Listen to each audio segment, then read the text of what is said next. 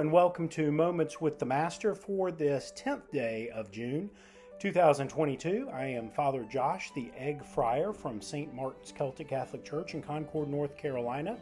Um, begin with an apology. So, the last couple of weeks, I've had to change where I've been staying um, when I'm down in Sumter uh, working, and that place doesn't have Wi Fi. And so I've been trying to figure out that whole Wi Fi situation, but the short thing is it's just been a little difficult for me to be consistent. So I'm trying to upload things as I can or when I'm home on the weekends. Um, but hopefully I can get that figured out and get back into it. Uh, secondly, um, if you're listening to this and you um, feel like praying for me and my wife, we are going to Nashville next week to a church planting assessment with the hope of being able to partner with a an organization to be able to um, help plant the church. So uh, please just uh, throw up a prayer, um, preferably to St. Martin. Ask St. Martin to pray for us. I do every day. Anyway, uh, we're looking at the readings from Pentecost. Normally I'm with you on Mondays, but again, things.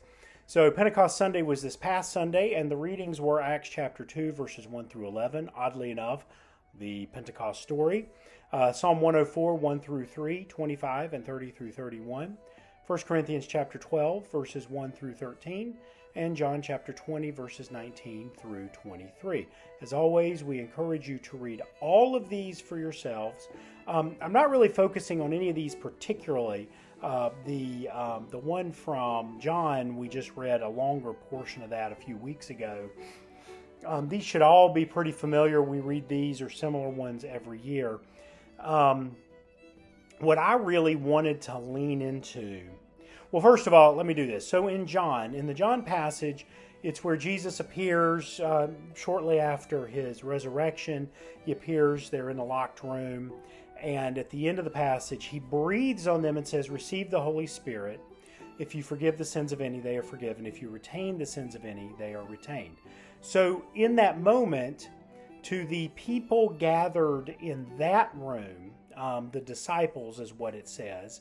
So, certainly um, the 10, because Thomas wasn't there, possibly um, some of the women.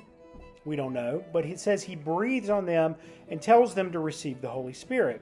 And then um, 40 days later, or so, um, in Acts chapter 2, we have a much larger group in the upper room and they're praying. Um, and the Holy Spirit comes in tongues of fire and lands on their heads, and they speak in various languages to the people in the area, and a lot of people come to Christ. So, when when we talk about the coming of the Holy Spirit, um, normally we talk about the Acts passage, but it was not until actually this year, as I was reading the passage from John, I was like, well, Jesus gives the Holy Spirit to the disciples weeks before Pentecost.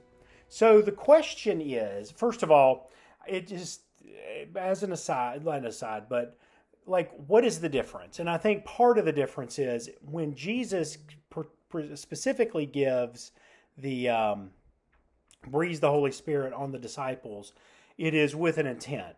Um, I am giving you, basically, he is ordaining them as priests, and he gives them the authority to uh, forgive or retain sins and that whole thing. The the second one is for a much larger group and is um, and when they speak in tongues, it is to um, to share the gospel with the, the crowds that are there that day. And then as you read through the book of Acts, um, there is this coming of the Spirit, evidenced by speaking in tongues, that happens first with um, the disciples of John who didn't follow Jesus, then with the Samaritans, and then with the Gentiles. So it's uh, God seems to use this in Acts as a an expanding expanding circles of hey we're welcoming them in. Oh yeah we're welcoming them in as well. Oh by the way we're welcoming those people too. Hang on one second. I'm going to grab my water. So The thing that I really want to talk about, though, is what does it mean to be filled with the Spirit? So I, I grew up in Protestant churches. Um, Presbyterian, we were for, I was probably in fifth, sixth grade when um, we, no, no, no, I was in seventh grade.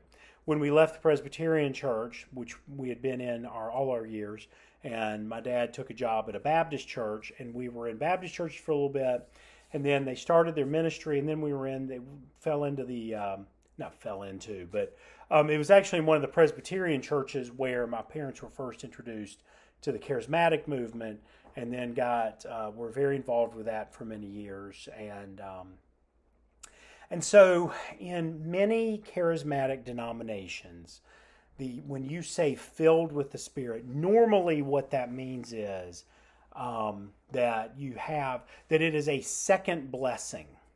Um, if you study the history of the charismatic movement, it is that's what it is. They talk about a second blessing, and so um, you become a Christian, but then later um, the Holy Spirit comes on you, and it is without almost without exception there the evidence of that is speaking in tongues. And so although they would say that the gifts of the spirit are many um, so the the passage in uh, corinthians talks about the many gifts of the spirit. Uh, uh, speaking in tongues and interpretation being two of them but being filled with the spirit that that's what that means um, I don't think that we don't talk about that as Catholics or and most Protestant denominations don't talk about it that way. So so there's a difference there. So what does it mean to be filled with the Spirit? What does it mean to be filled with the Spirit? Um, well, that's a great question. And I would say, and I think this is borne out in Scripture and in church doctrine that you are filled with the Spirit when you follow Jesus. Um, and so, um, for everybody, even even people like I was baptized as an infant, even people who are bab- who are baptized as infants, there still comes a point where they have to make their own decision to be followers. You you you have to choose for yourself at some point. Um, I don't know that that necessarily requires a, a, separate or second baptism, like a water baptism. Um, but it certainly is a decision, an act of your will to say, I am following Jesus not because of the way I was raised or because my parents did it. I am doing it because this is what I know to be true and this is who I choose to follow. Um, but setting that aside, is it this big, momentous, like Jesus breathes on them and then they go fishing. And um and then there's that long thing. Now, after Pentecost, there is a definite and a massive change in the the the followers of Jesus, and there's clearly there's clearly something p- behind the filling of the Spirit. Hey, y'all want to see our new? Uh, this is um, this is our new kitten. Say hello. Hello. Ow! Son of a gun. She didn't want to be. He didn't want to be held anymore. Um, that was Cuthbert. Um, so our new our new kitten, who wanted to scratch me because he didn't want to be on the video. Anyway, so what is being filled with the Spirit? I would suggest that the filling of the Spirit has to do with what comes out. Like I can say I'm filled with the Spirit, but unless I act, unless the the the the because being because being filled means nothing if it doesn't pour out of me. So going back to Acts, they are filled with the Spirit, but what do they immediately do? They they preach the gospel in all the languages of the people that are there in Jerusalem that day. there's something that happens as a result. It's not just something for me. And so much later in um, Galatians, Paul writes, talks about the fruits of the flesh, and then he talks about the fruit of the spirit. In fact, let me just let me um, let me look that up real quick. So just just hold with me real quickly. Uh, doo, doo, doo. It's in Galatians five, if you ever want to look it up. Um, but this this is one of those passages that's really good to memorize. Um, I, I, know the fruit of the spirit side. Um, so here's what it says. He says the sinful nature, the desires of your sinful nature. So if you the fruit of sin, what comes out of you because of your sin? Sexual immorality, well, that one's obvious. Impurity, that's not just talking about sex, but also lustful pleasures, idolatry, putting other things before God, sorcery, hostility, quarreling, jealousy, outbursts of anger, selfish ambition, dissension, division, envy, drunkenness, wild parties, and other sins like these. So, that is the fruit of the flesh. So, that's what comes out. And it's obvious, or should be obvious, when someone is not following Jesus. Then he says, But the fruit of the Spirit is love, joy, peace, patience, kindness, goodness, faithfulness, gentleness, and self control. Against these things there is no law. And that's what comes out when we, that's what being filled with the Spirit is. Being filled with the Spirit is having so much of the Holy Spirit in me that it flows out of me and touches people in the world.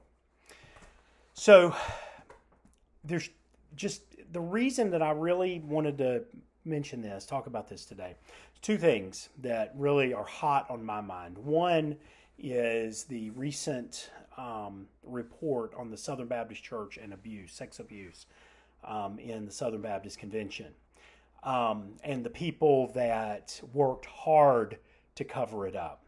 These are people um, who claim to be filled with the Spirit but what comes out of them is the fruit of the flesh. And it is doing immeasurable damage to the kingdom of God.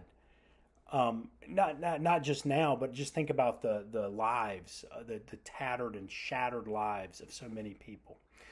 And then um, last night, so this is uh, the 10th of June, so on the 9th, the evening, um, the the January sixth committee um, presented the beginnings of their report on what happened on January sixth.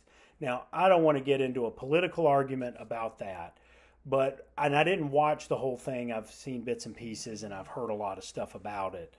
Um, one of the things that one of the more um, shocking things to me was uh, the video that had never been seen before, a lot of the body cam footage from the Capitol police officers.